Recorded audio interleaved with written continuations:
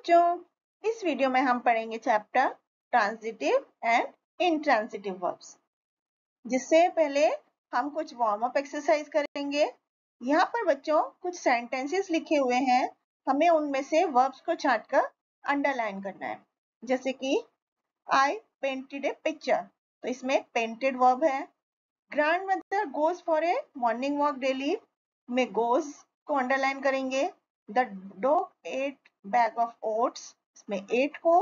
We arrive by the train at six in morning इसमें arrived को। And she bought a dozen banana में bought ये एक verb है, इसलिए इसको अंडरलाइन करेंगे। तो बच्चों, कुछ वर्ब्स ऐसे होते हैं, जिनका मीनिंग कंप्लीट करने के लिए सेंटेंस में ऑब्जेक्ट की ज़रूरत होती है। और जबकि कुछ वर्ब ऐसे होते हैं, जिसमें ऑब्जेक्ट की ज़रूरत नहीं होती है। तो इस तरह से वर्ब दो तरह के होते हैं। ट्रांजिटिव वर्ब और इंट्रांजिटिव वर्ब तो सबसे पहले हम ट्रांजिटिव वर्ब के बारे में पढ़ते हैं। वो वर्ब जिसे सेंटेंस का मीनिंग कंप्लीट करने के लिए किसी ऑब्जेक्ट की ज़रूरत होती है, उसे हम ट्रांजिटिव वर्ब कहते हैं। जैसे कि चिल्ड्रन लाइक चॉकलेट्स इसमें चिल्ड्रन नाउन है लाइक like वर्ब है और चॉकलेट्स ऑब्जेक्ट है। I gave Rohan a pen इसमें गेव वर्ब रोहन ऑब्जेक्ट और ए पेन ऑब्जेक्ट बच्चों ट्रांजिटिव वर्ब में एक से ज़्यादा भी ऑब्जेक्ट हो सकते हैं। पहले सेंटेंस में chocolate completes the meaning of the verb like अगर हम चॉकलेट्स नहीं लिखेंगे तो सेंटेंस का कुछ भी मीनिंग नहीं होगा। इसी तरह से दूसरे सेंटेंस में दो ऑब्जेक्ट है, रोहन और पेन। एक चीज़ है और एक व्यक्ति है।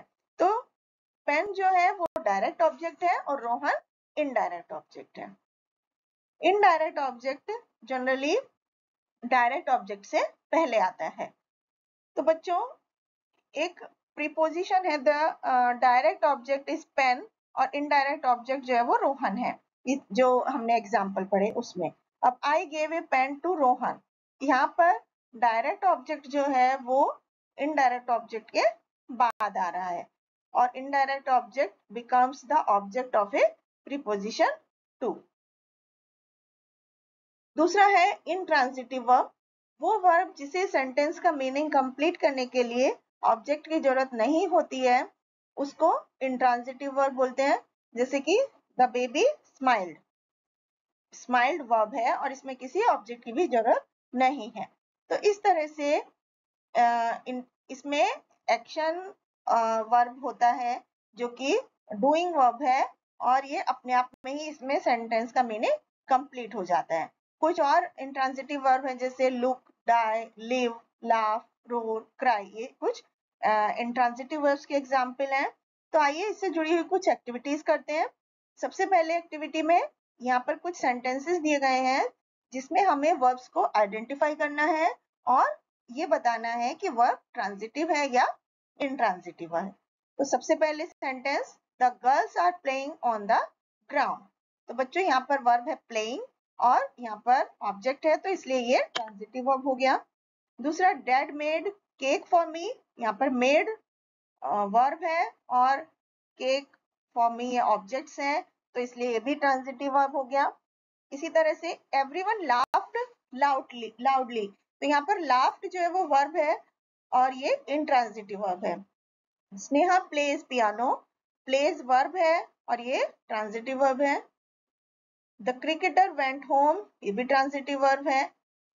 वी वेंट फॉर मूवी ये भी ट्रांसिटिव वर्ब है. तो इस तरह से हम इन सेंटेंस में ट्रांसिटिव और इंट्रांसिटिव वर्ब को पहचान सकते हैं.